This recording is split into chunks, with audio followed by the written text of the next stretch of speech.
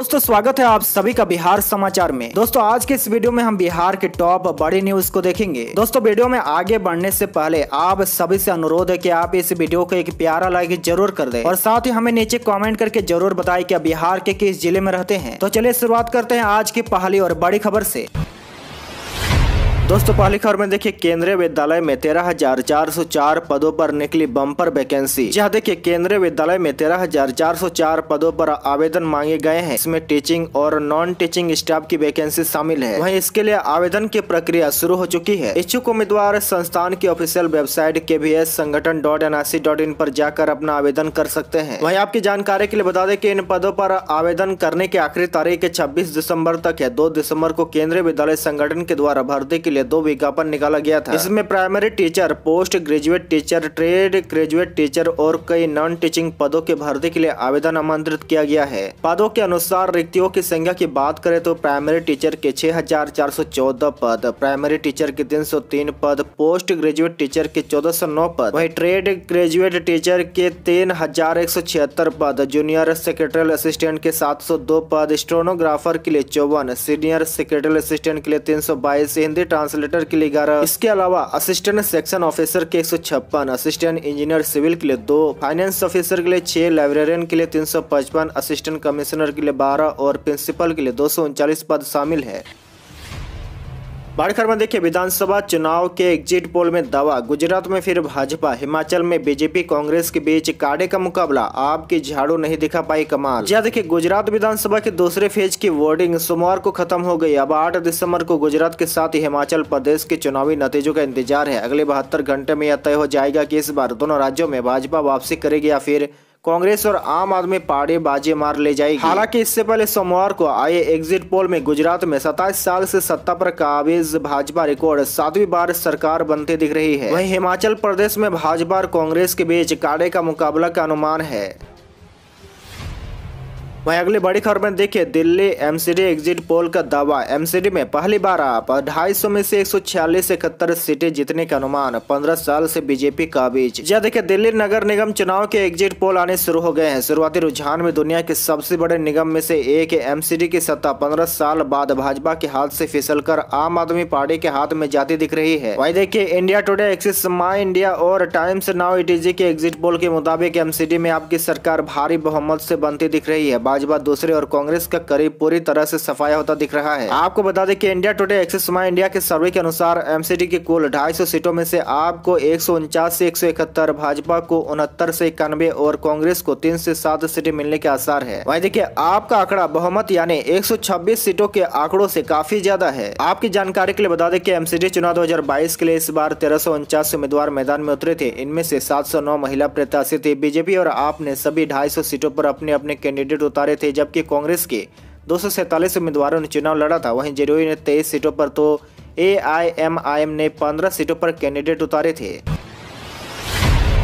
बड़ी खबर में देखिए, खत्म। एक कुढ़नी उपचुनाव की वोटिंग। आठ दिसंबर को आएँगे नतीजे। नीतीश तेजस्वी की महागठबंधन व बीजेपी की प्रतिष्ठा दाव पर। देखिए, कुढ़नी उपचुनाव में संतावन दशमलव नौ फ़ीसदी मतदान हुआ है। मुख्य निर्वाचन पदाधिकारी एच आर श्रीनिवास ने निर्वाचन विभाग में मतदान समाप्त होने के बाद प्रेस कॉन्फ्रेंस में इसकी जानकारी दी है। उन्होंने बताया की दो हज़ार बीस में इस क्षेत्र के चुनाव में चौसठ फ़ीसदी मतदान हुआ था। उन्होंने बताया की मतदान शांतिपूर्ण तरीके ऐसी सम्पन्न हुआ है। वही देखिये जदयू प्रत्याशी व पूर्व मंत्री मनोज कुमार सिंह उर्व मनोज खुशवा कुशवाहा व भाजपा प्रत्याशी व पूर्व विधायक केदार प्रसाद गुप्ता समेत तेरह उम्मीदवारों की किस्मत ईवीएम मशीन में कैद हो गई। वोटों की गिनती गुरुवार 8 दिसंबर को की जाएगी और इसके लिए मतगणना केंद्र आरडीएस कॉलेज में बनाया गया है। वहीं अगली बड़ी खबर में देखिए, सिंगापुर में लालू का किडनी ट्रांसप्लांट सफल। एक घंटे चले ऑपरेशन के बाद होश आया, हाथ हिलाकर किया अभिवादन। जहाँ देखिए, सिंगापुर के अस्पताल में सोमवार को आरजेडी सुप्रीमो लालू प्रसाद यादव का किडनी ट्रांसप्लांट सफल रहा। एक घंटे तक ये ऑपरेशन चला। वहीं आपकी जानकारी के लिए बता दें कि लालू को उनकी बेटी रोहिणी ने किडनी डोनेट की है। लालू से पहले रोहिणी का ऑपरेशन किया गया। फ़िलहाल दोनों आईसीयू में है। लालू यादव का हाथ हिलाकर अभिवादन करते वीडियो उनकी बड़ी बेटी मिश्रा भारती ने शेयर किया है। उन्होंने लिखा की, हमारे लिए बहुत सुकून देने वाला क्षण था जब जब पापा से आईसीयू में थोड़ी देर के लिए मिलने की इजाज़त मिली। पापा ने हाथ हिलाकर आप सबकी शुभकामनाओं को वीडियो के माध्यम से स्वीकार किया और आभार व्यक्त किया है। बड़ी खबर देखिए, बिहार में मखाना के बाद अब मरचा चोड़ा को मिलेगा जीआई टैग, चंपारण के लोगों को मिलेगा ये फ़ायदा। जी देखिए, बिहार में मखाना के बाद अब मरचा चोड़ा को भी जीआई टैग मिलेगा। पश्चिमी चंपारण ज़िले के मरचा चोड़ा को वैश्विक पहचान दिलाने के लिए जीआई टैग के लिए जिला प्रशासन द्वारा हर संभव प्रयास किया जा रहा है। आपकी जानकारी के लिए बता दें की जीआई टैग मिलना एक जटिल प्रक्रिया है। बावजूद इसके जिलाधिकारी कुंदन कुमार के दिशा निर्देश के आलोक में अधिकारियों की एक पूरी टीम मरचा चोड़ा को जीआई टैग दिलाने के लिए करीब डेढ़ साल से कार्य कर रही है। यह प्रयास अब अंतिम चरण में शीघ्र ही ज़िले के मरचाचूड़ा को जीआई टैग मिलने की प्रबल संभावना है।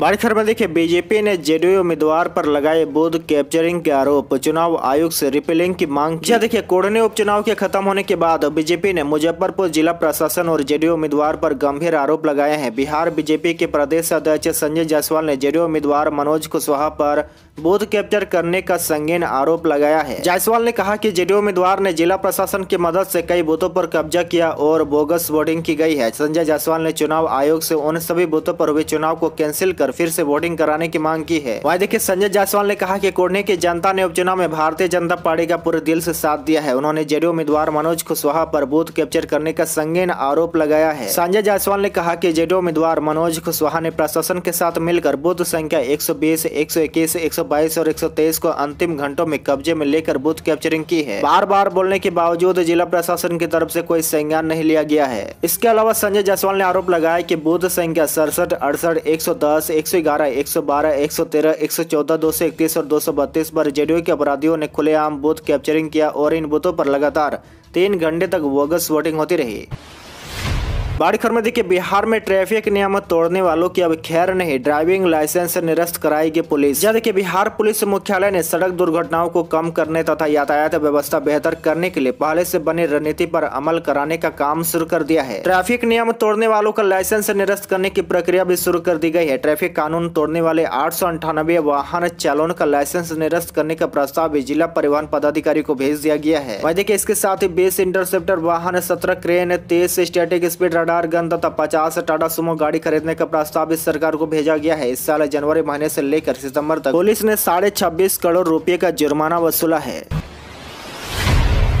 बड़ी खबर में देखिए, बिहार में शराबबंदी को लेकर बड़ी सख्ती। नवंबर में हर दिन चार हज़ार दो सौ बिरासी छापे मारे पंद्रह सौ उनतीस लोग गिरफ़्तार। जी देखिए, बिहार में शराब के खिलाफ चलाए जा रहे अभियान को लेकर सख्ती लगातार बढ़ती दिख रही है। इसका अंदाज़ा इससे लगाया जा सकता है कि सिर्फ़ पिछले एक महीने, यानी नवंबर माह में हर दिन चार हज़ार दो सौ बिरासी छापेमारी की गई, जिसमें औसतन पंद्रह लोग हर दिन गिरफ़्तार किए गए। वहीं देखिए, सोमवार को साप्ताहिक प्रेस कॉन्फ्रेंस में मद निषेध, उत्पाद एवं निबंधन विभाग के आयुक्त बी कार्तिक झानंजी ने बताया कि नवंबर महीने में पुलिस और मद निषेध विभाग ने मिलकर एक दशमलव अट्ठाईस लाख से अधिक छापेमारी की है, जिनमें से बाईस हज़ार दो सौ छब्बीस मामले दर्ज करते हुए, पैतालीस अभियुक्तों को गिरफ़्तार किया गया है। देखिए, आयुक्त ने बताया कि सिर्फ़ मद निषेध विभाग हर दिन औसतन आठ गिरफ्तारी कर रहा है। इनमें सरकारी कर्मी से लेकर डॉक्टर, अधिवक्ता व जनप्रतिनिधि से लेकर विभिन्न क्षेत्रों से जुड़े लोग भी शामिल है। बड़ी खबर में देखिए, बिहार के गाँवों की गलियाँ अब होगी रोशन। मार्च तक पंचायतों में लगेगी तीन लाख से अधिक सोलर स्ट्रीट लाइट। जी देखिए, बिहार में अब गाँवों की गलियों को भी रोशन किया जा रहा है। इसके लिए सरकार द्वारा राज्य के सभी आठ ग्राम पंचायतों में तीन लाख बाईस हज़ार तीन सौ बीस सोलर स्ट्रीट लाइट लगाने का सख्त निर्देश दिया गया है। वही देखिए, पंचायती राज मंत्री मुरारी प्रसाद गौतम की अध्यक्षता में सोमवार को सोलर स्ट्रीट लाइट की आपूर्तिकर्ता और इंस्टॉल करने की एजेंसियों के प्रतिनिधियों के अलावा ऊर्जा विभाग और ब्रेडा के पदाधिकारियों के साथ समीक्षा की। बैठक में स्पष्ट निर्देश दिया गया कि मार्च 2023 तक राज्य के हर ग्राम पंचायत के चार चार वार्डो में 40-40 स्ट्रीट लाइट स्थापित कर दिए जाए। बड़ी खबर में देखिए जीएसटी कलेक्शन में टॉप पर बिहार, नवंबर में इक्कीस हज़ार करोड़ से ज़्यादा का राजस्व जमा। जी देखिए, बिहार के वाणिज्य कर मंत्री विजय कुमार चौधरी ने बताया कि इस साल नवंबर महीने में जीएसटी कलेक्शन बीते वर्ष के मुकाबले अठाईस फ़ीसदी ज़्यादा है। जीएसटी कलेक्शन में बिहार पूरे देश में अव्वल है। वही उत्तर प्रदेश, महाराष्ट्र, कर्नाटक और तमिलनाडु के मुकाबले बिहार में जीएसटी कलेक्शन कई गुना ज़्यादा है। नवंबर महीने में बिहार में जीएसटी वेट समेत अन्य टैक्स के ज़रिए इक्कीस करोड़ रूपए राजस्व के तौर पर जमा हुए हैं। वही इसके अलावा उत्तर प्रदेश प्रदेश में नौ फ़ीसदी, महाराष्ट्र में सोलह फ़ीसदी, कर्नाटक में तेरह फ़ीसदी और तमिलनाडु में दस फ़ीसदी का इजाफा हुआ है, जबकि बिहार में नवंबर माह में जीएसटी कलेक्शन में अठाईस फ़ीसदी की बढ़ोतरी हुई है। बड़ी खबर में देखिए ललन सिंह दूसरी बार बने जेडीयू के राष्ट्रीय अध्यक्ष अनिल हेंगड़े ने की घोषणा। 10 दिसंबर को औपचारिक ऐलान। जैसे देखिए बड़ी खबर, राजीव रंजन उर्फ़ ललन सिंह जदयू के निर्विरोध राष्ट्रीय अध्यक्ष निर्वाचित हो गए हैं। दो दिन पूर्व दिल्ली के राष्ट्रीय कार्यालय में इस पद पर उनका नामांकन हुआ था। सोमवार पाँच दिसंबर को स्क्रूटनी का कार्य पूर्ण होने के बाद जदयू के राष्ट्रीय चुनाव अधिकारी व राज्यसभा सांसद अनिल हेगड़े ने ललन सिंह की दोबारा निर्विरोध निर्वाचित किए जाने की घोषणा की है। में देखिए राज्य के अस्पतालों में दो पालियों में होगी ओपीडी। जहाँ देखिए राज्य के सरकारी अस्पतालों में ओपीडी का समय बदलेगा। अब एक पाली में चल रही ओपीडी की दो पालों में करने की योजना पर काम चल रहा है। विभाग ने तय किया कि सदर अस्पतालों, अनुमंडल अस्पतालों, पीएचसी आदि में पहली पाली सुबह नौ बजे ऐसी एक बजे तक होगी। इसके बाद दो घंटे का विश्राम होगा, फिर दूसरी पाली तीन ऐसी पाँच बजे तक होगा। स्वास्थ्य विभाग की ओर ऐसी जल्द इस बाबत आधिकारिक निर्णय लिया जाएगा। सरकारी अस्पतालों की ओपीडी में प्राय अभी मरीजों का उपचार सुबह आठ, नौ से दो बजे के बीच हो रहा है। लेकिन ग्रामीण इलाके या छोटे शहरों के अस्पतालों में तय समय में मरीजों को उपचार नहीं हो रहा है। तय अवधि में चिकित्सक या अन्य स्वास्थ्य कर्मी अस्पताल में नहीं रहते हैं, खासकर दूर दराज या ग्रामीण इलाकों के अस्पतालों से विभाग को इस तरह की शिकायतें मिल रही थी। इसलिए सरकार ने ओपीडी की व्यवस्था को और कारगर करने का निर्णय लिया है। बड़ी खबर देखिए, राज्य में दिन और रात के तापमान में गिरावट शुरू, दिसंबर के दूसरे सप्ताह से बढ़ेगी और ठंड। देखिए, राज्य में दिन और रात के तापमान में गिरावट शुरू हो गई है। मौसम विभाग के अनुसार दिसंबर के दूसरे सप्ताह में ठंड बढ़ने के आसार है। वहीं दूसरी ओर तेज़ी से लुढ़क रहे न्यूनतम तापमान के कारण रात में ट्यूटरन की स्थिति शुरू हो गई है। वही देखिए, दिन में धूप जाने से लोगों को थोड़ी राहत ज़रूर मिल रही है, लेकिन शाम के चार बजे से धूप की धमक खत्म हो जाती है। मौसम विभाग के अनुसार राज्य में पिछले चौबीस घंटे में न्यूनतम तापमान नौ डिग्री सेल्सियस दर्ज किया गया। वहीं अधिकतम तापमान छब्बीस दशमलव पाँच डिग्री सेल्सियस रहा है। वहीं देखिए मौसम विभाग के पूर्वानुमान के अनुसार सात दिसंबर तक आसमान साफ़ रहेगा। वहीं सुबह के समय हल्का कुहासा छाया रहेगा। इसी बीच तीन से पाँच किलोमीटर प्रति घंटे की रफ्तार से पचे हवा चलेगी। वहीं देखिए ठंड की शुरुआत के साथ ही ब्रेन हेमरेज व स्ट्रोक का खतरा बढ़ जाता है। अचानक तेज सिर दर्द, उल्टी या बेहोशी छाने लगे तो हेमरेज की आशंका ज़्यादा होती है। आज के लिए बस इतना ही। इसी तरह बिहार के डेली न्यूज़ देखने के लिए आप हमारे चैनल को ज़रूर सब्सक्राइब करें।